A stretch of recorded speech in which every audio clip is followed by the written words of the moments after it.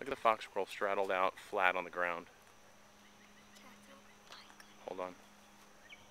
Okay, Jackie, just just give him a little loving with the pine cone. Oh, oh, Mr. Fox Squirrel.